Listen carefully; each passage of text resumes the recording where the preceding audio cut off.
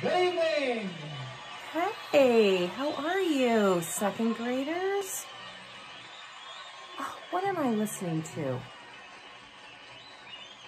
Hold on. It's John Denver. Listen. Saturday night in Toledo, Ohio is like being nowhere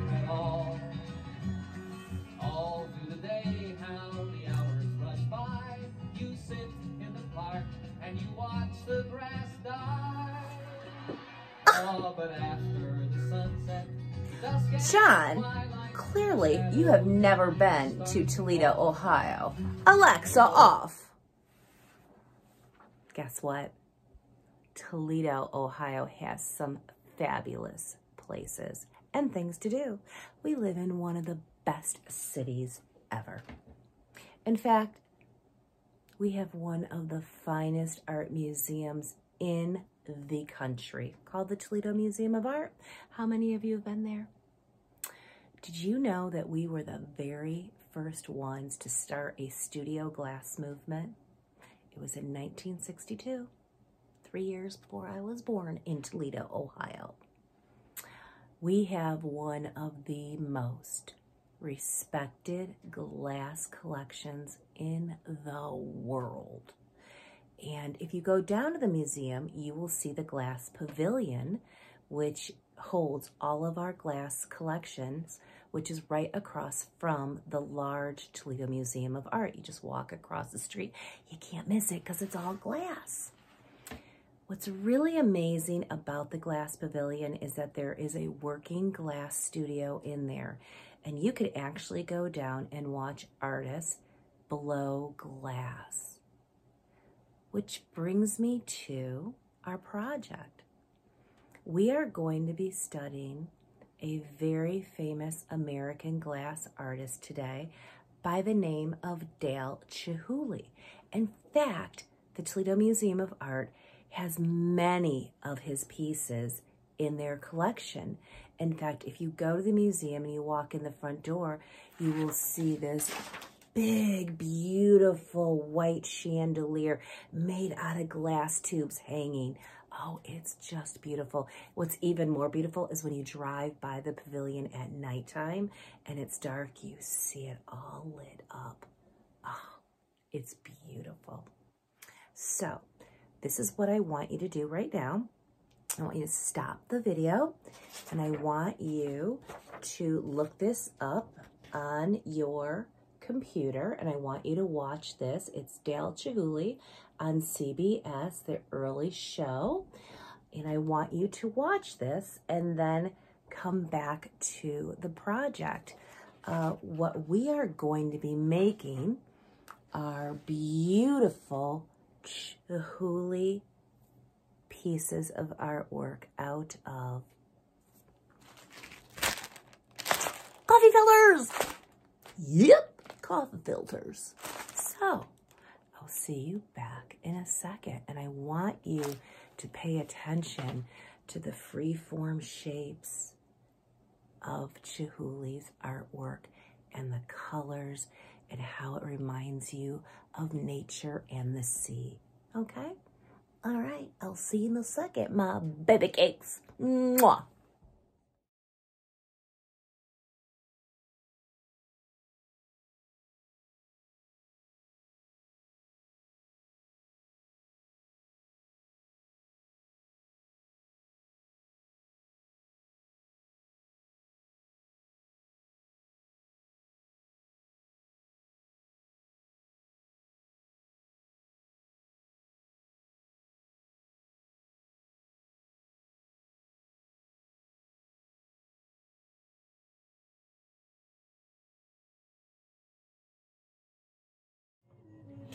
Hey, welcome back. So, what did you think? Boy, his works are gorgeous. It's pretty sad that he lost his sight in a car accident. Boy, that is pretty awful for an artist, but I love how he continued to still make art. That's pretty, pretty amazing to me. So, if you look at our piece right now, you can see how it reminds us a little bit of a Chihuly piece. You can see how the edges of the bowl are not geometric and it reminds us sort of a C shape. It also reminds me of the project that we did last year, our Monet project. That's because of the colors. So I hope that you have an opportunity to go down to the Museum of Art and see the beautiful pieces that we have. In fact, we just bought a new chandelier, which is an exciting purchase for our museum. And the new chandelier is very different from the old one. Um, the one, the older one that we've had for years is made of sort of a pearl white color. And the new one has lots of beautiful, uh, bright primary colors. So very, very beautiful. We're very lucky to live in the city of Toledo and have such a wonderful museum. So we're going to make our piece out of coffee filters. Um, if you don't have any coffee filters, you can try with paper towels and use a plate to cut out a circle of a paper towel, about the same size as a coffee filter. Also, if you can get a white piece of paper to paint on, also, a hair dryer would be great. Some watercolors and uh, a rubber band. And if you have one of these plastic glasses, that would be great. But um, a regular glass would work as well too. So, okay, get all your materials and I will see you back in a second. Hey, make sure you cover this table or your kitchen table so it doesn't get dirty push your sleeves up, and let's get ready to mix them up, my little glass blowers. See you in a sec. Okay, welcome back. Hey, one thing I forgot to tell you to get, which is very important, is some glue. Make sure you've got Elmer with you too. Okay, so I'm going to take my coffee filter and I am going to do the wet on wet technique, which means I'm going to wet the complete coffee filter with water. So, I know it sounds a little crazy, but just take some clear water and get that baby wet. Nice layer of water. And you'll see how it will stick to the paper, which is really sort of unexpected surprise because do you remember before we left school, we were doing a lot of work with printmaking and to my discovery, when I did this this morning, I saw that it created a beautiful print after we painted it. So that was actually what I glued the Chihuly glass to. This is actually the paper underneath. Okay, so for my first one, I used all cool colors. And I think for my second one, I am going to use uh, some warmer colors. So you just take it and you dab and you will see how the colors will begin to spread apart like tie-dye. Make sure that you wash your brushes between your colors. You know how I get a little crazy if we have dirty brushes, so make sure your brushes are clean. I'm gonna add a little bit of yellow, some nice warm yellow.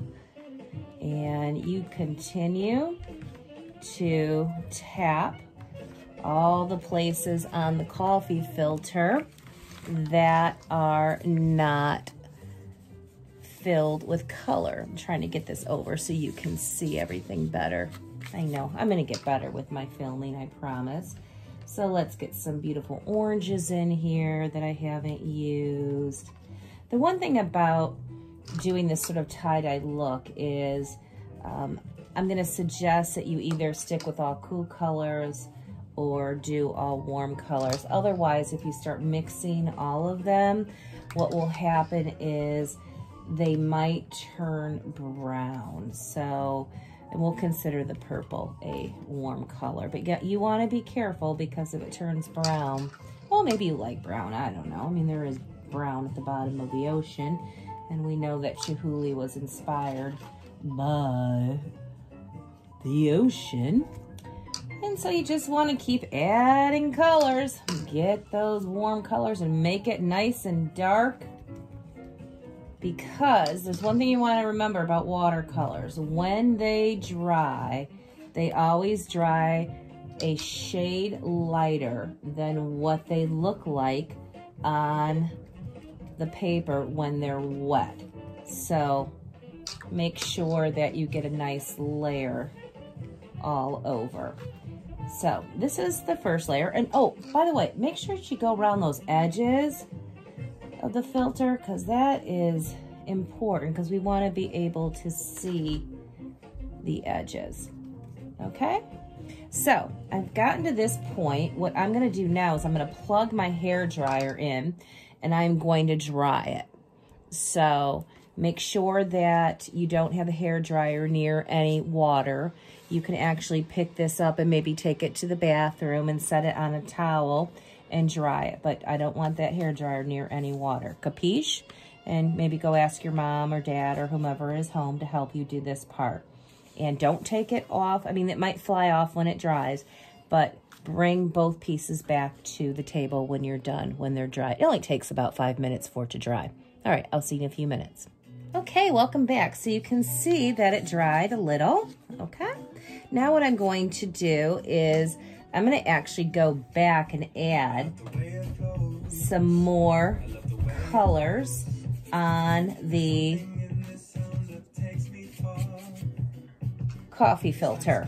And these are not going to, this is not going to be the wet on wet technique, but this is going to be on the dry coffee filter. And you'll see that the colors might be a little more vibrant this time because they are not getting submerged into the wet puddles. So we're actually painting two layers on our coffee filter. And see how much darker they are this time? Some yellow in there. Some nice bright, bright colors. Come on, baby cakes. This is much brighter than it was last time. Okay. All right, and what do you think we're gonna do next? Yes, you are right. We are gonna go back in and we are going to take our hair dryer and we are going to dry this baby again. So go get your hair dryer out and I will see you in a moment after you do what you did before. Okay, see ya in a second, bibas. Okay, so here we are. Boy, I'll tell you, they have a life of their own when you're blow drying them, don't they? But now you can see how it is darker than it was before. And look what we have. We have this fabulous print that was made from the coffee filter. So what you can do with that is just take it out. It doesn't have to be perfectly round. It can kind of have some waves on the side. And this is going to be a beautiful base to put our Chihuly coffee filter bowl. All right, like that, and you can set that aside to dry. Okay, so now this is the interesting part. What you're going to do is you are gonna take your Chihuly painting and you are gonna wrap it around a glass like this, okay? So wrap it around and then take a rubber band and put the rubber band around it. I know this sounds crazy, a little cray cray. Pull it up, okay? It should look like that. What the rubber band is doing is it is holding it in place. And then what we're gonna do is you can see in this glass, I poured just about, okay, welcome back. So what I did is I actually cut out the print that was underneath my coffee filter, which makes it a wonderful base for our Chihuly bowl. So you can set that aside and take your coffee filter and that glass I told you about, turn it upside down, and you are gonna put your coffee filter on top, sort of wrap it around, take this rubber band and put it around the coffee filter and the glass. And then you can flip it upside down. And all of a sudden you can see, well, this rubber band doesn't want to stay. Come on there, mister. Well, that'll, that's good enough. Okay, so you can see how all of a sudden it's beginning to take on that Chihuly shape. So what you're gonna do now is you are going to just pour in, this makes a perfect little cup to hold glass, just about a teaspoon of glue. That's all you need, a teaspoon. And then maybe a half a teaspoon of water. I'm using the paint water that I had. And then you are going to mix that up and it should look a little bit like this. You know what, that's a little bit watery for me. So you want the consistency to be a little bit thicker. So I'm gonna add a little bit more glue and there you go. Can you see how it's beginning to get thicker? Yeah, that's perfect. That's a perfect consistency. Okay, look, should look like that when it drips off your paintbrush. Now, if you happen to have starch at your house, uh, I know some of you may not know what starch is, but spray, spray starch is what some of our, uh, you know, I know my parents used to use it. My mom, when my mom used to iron my dad's shirts, they would spray starch on it to make it nice and um, crispy looking. So if you have starch at your house, you can actually spray this, have your an adult in your house, they can show you how to spray it all over this and let it set and you can actually use a hair dryer or you can use this glue. So this is what actually keeps the shape of the glass. You go and you paint the entire bowl and the coffee filter with the glue mixture and get a nice, nice layer of this, even on the edges. And go around, paint the bottom. Okay. And I suppose you could use Mod Podge too if you had Mod Podge. That might work as that might work too. I've never done Mod Podge, but oops, got a little my table. That's why we always cover our tables. Make sure you get in between the folds with the glue and you completely give that coffee filter a bath of glue. Or think of it like putting suntan lotion on him. Like you want to get a good layer of suntan lotion all over that. Okay? Now, when you're done with that, you're going to go back to that hair dryer. Gosh, I'll tell you, we're using that hair dryer a lot today. And you are going to dry that baby off. Again, it'll take you about five minutes. I'll see you soon. Make sure you're drying it around the cup, okay? Don't take the rubber band off of the cup. Keep drying it. And you'll see, don't spill the glue in the middle. Just keep going around. And you'll see that it'll get dry. About five minutes. Okay, so after it's dried, all you do is you gently take that rubber band off of the cup and you slowly, you might have to pull, pull the layers up a little bit off the glass. Just do it gently, don't tear it, just real gently, have patience. Okay, and then pull from the bottom. And you will have your Dale Chihuly bowl that looks like a glass piece. And what I like to do is glue it to that print that we had, just a couple of raindrops. Let's see, that's a perfect song playing right now. A couple raindrops, set it on, and you have a beautiful Dale Chihuly artwork.